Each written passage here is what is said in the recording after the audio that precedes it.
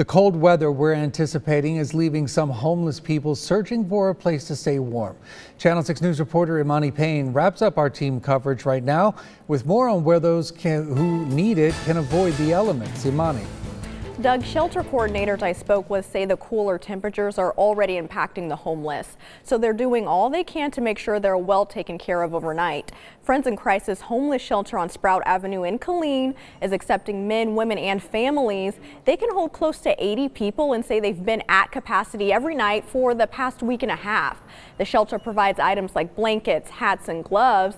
They're also extending hours to allow as many people to stay for as long as possible. The Killeen Community Center's warming station is now open 24 hours.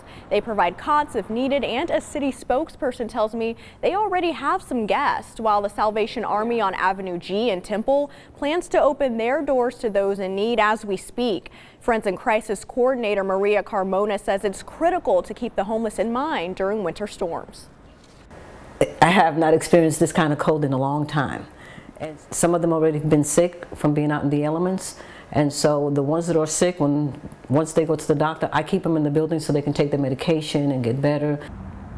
She goes on to say all guests receive extra food, coffee, hot chocolate, and whatever else they may need to make it through the storms. For a list of warming centers in the area and their hours of operation, visit our website. That's kcentv.com. Doug. All right, Emani, thank you very much.